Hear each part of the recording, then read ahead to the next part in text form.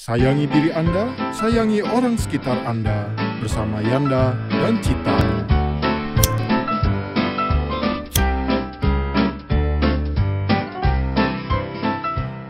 Bapak kok merokok di dalam rumah? Habis makan malam yang enak tadi, rasanya kurang lengkap tanpa rokok. Nah, Nggak heran kalau batuk-batuk Bapak nggak sembuh. Makanya berhenti dong, Pak. batuk bapak itu berasal dari radang, nak, bukan karena rokok. Awalnya sih hanya radang saja. Kalau Bapak ingin benar-benar berhenti, saya punya tablet untuk membuat Bapak berhenti merokok.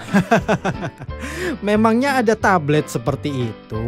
Ada di tablet ini banyak yang mau aku kasih tahu ke Bapak. Batuk yang nggak sembuh itu akibat dari bahaya rokok yang sederhana, Pak. Dampak merokok yang lebih besar itu seperti kanker, merusak saluran pernafasan, merusak kerja paru-paru dan jantung, serta banyak penyakit mengerikan lainnya hingga menyebabkan kematian.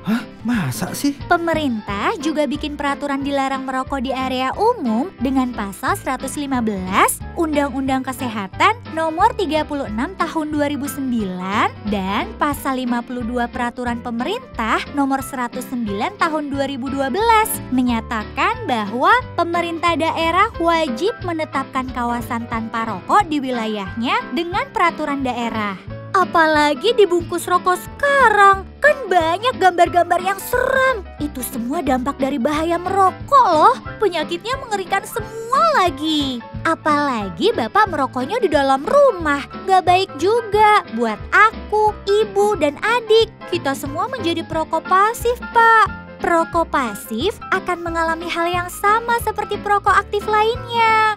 Sayangi diri Bapak sendiri berarti Bapak menyayangi orang-orang di sekitar Bapak. Wah, wah, wah, anak bapak pintar sekali. Oke, oke, bapak akan berusaha berhenti merokok. Betul, ciptakan hidup bebas asap rokok untuk Anda dan orang sekitar Anda.